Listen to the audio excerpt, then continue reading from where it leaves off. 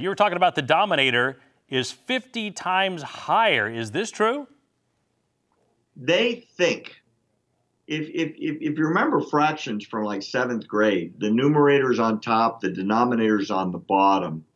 The bottom number, which is the number of infections, the number on top, the numerator is the number of deaths, right?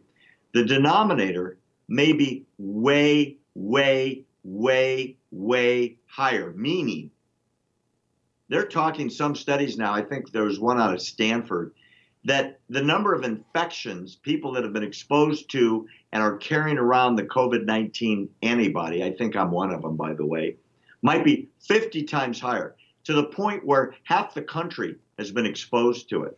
Meaning, yeah. meaning the death rate, the number on top, the numerator, might be a statistic that is so small as to be statistically untraceable. Your chances of dying from this disease is almost infinitesimal as a percentage of the number of people that have it. Now, what's interesting, you and I talked about this last week. There was a study done here in Santa Clara County, up in the Bay Area, that there were 85 times more people that they thought had it, which actually takes that death rate down to even lower than what we were talking about before. Pretty crazy stuff.